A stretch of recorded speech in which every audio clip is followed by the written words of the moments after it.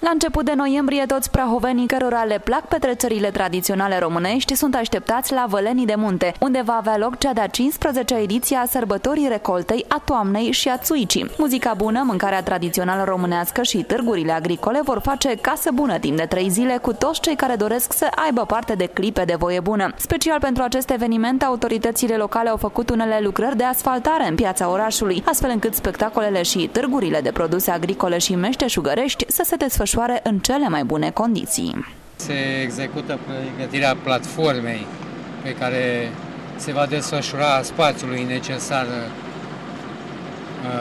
desfășurării festivalului.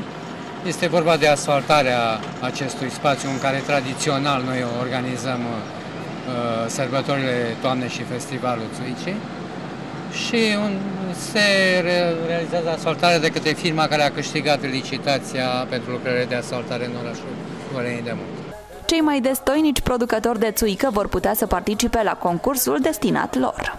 Se vor lua probe pentru uh, concursul de cel mai bun producător de țuică.